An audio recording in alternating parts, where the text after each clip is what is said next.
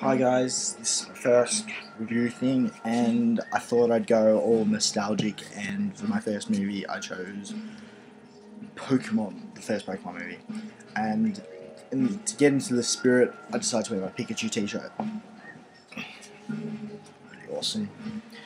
Yeah, but yeah, I mean, I love this movie. I think every time I watch it, I revert back to my seven five year old self, whatever, however old I was when I first saw it, watching it and just, you know, looking with glee on the big screen as, you know, Pikachu was there and Ash and Misty, Brock, and seeing the evil of Mewtwo and like the little adorable Mew. And I can't speak highly enough of this movie. It's a little bit of a guilty pleasure now because I'm 18. I still, I still love Pokemon to a ridiculous amount. But anyway, so watching this movie, I had to do this. I tried to look not as I do. And I usually do watch it as a seven or five year old. I tried to watch it as an 18 year old looking at actual messages or themes within the movie.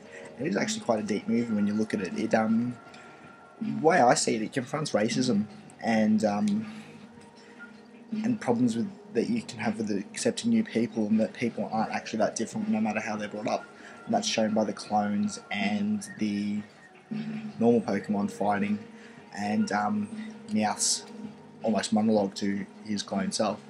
Um, yeah, I think a lot of quite a sad movie in ways as well. Um, Ash sacrificing himself to stop Pokemon fighting and hurting each other, but all in all, I can't speak highly enough of this movie. It's fantastic to watch. It actually does have a message, and it's something I will definitely show to my children multiple times when and if I have them. Um, probably one thing is, you know, looking at it as an adult, it is quite short though. It's more, it's almost like watching two TV shows rather than watching a full length movie. It only goes for seven, about 70, 75 minutes.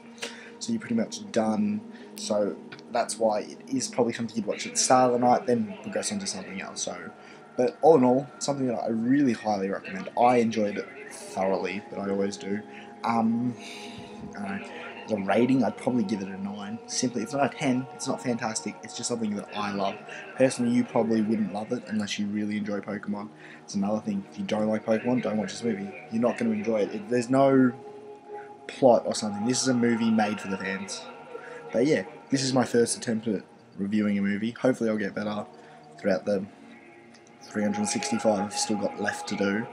Um, but yeah, so there it is. Um, hope everyone's okay.